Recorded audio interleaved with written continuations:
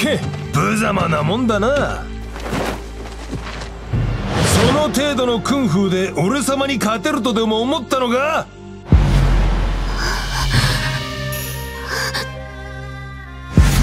変身さんを助けないと。りょうまだダメ？まだ無理。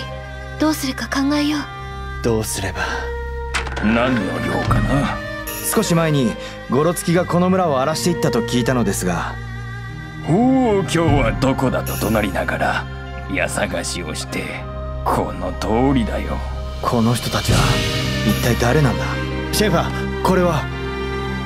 知らないおじさん2人がこの家に入っていくのを見たんだ。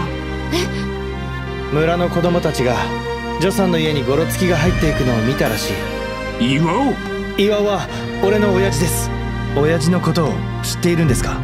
親父は殺されたんですお前さんたちには関わりのない昔のことじゃと言ったはずじゃ。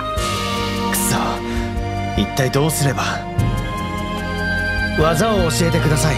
そう簡単に教えるわけにはいかんな。何でもします。教えてください。そうじゃ。その調子じゃ。えいお主には俊敏さが足らん。素早く接近して撃つのじゃ。遅い。基礎力もついたようじゃ。そろそろ技を伝授してやるかのう。よいか。